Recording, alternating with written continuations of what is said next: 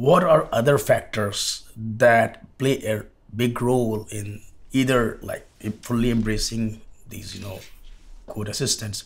Is it about how diverse, how you know big is the ecosystem or is a single player system because when we look at the cloud we talk about multi-cloud we leverage services from different cloud providers depending on uh, what what their excel excellence is. So when it comes to ai code engineering what kind of ecosystem you see we are going to build? The good thing is that uh, the the problem that code assistants are trying to solve is a very well defined problem right? It is it is a logic problem. Uh, it is not one of expressing something emotionally or you know controversially.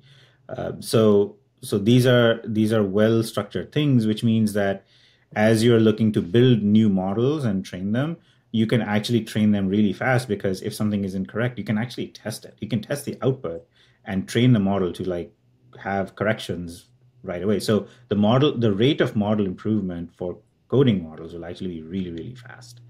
Um, the the kinds of issues that executives should should look at is, you know, will will your code quality go up or down, right? What what sort of what sort of outcome are you expecting? What is the goal of your adoption? Uh, is it simply, uh, you know, is it a productivity measure?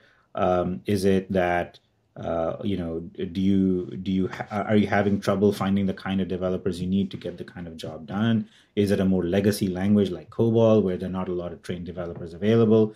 So what what subspace of the problem are you looking to solve? And that may influence your decision to to select one type of uh, coding assistant over another. So in, if you have a general purpose coding assistant that attaches to any IDE for modern languages, that may have a certain type of price structure and licensing, et cetera, et cetera.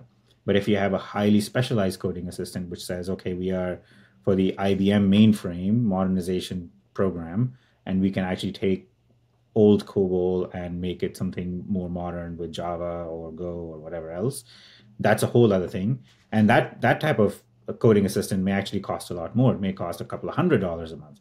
But again, these problems traditionally have been so expensive that it may again be well worth it. So executives have to kind of go in very clear minded about what it is that they're looking for when they want their teams to adopt a coding assistant.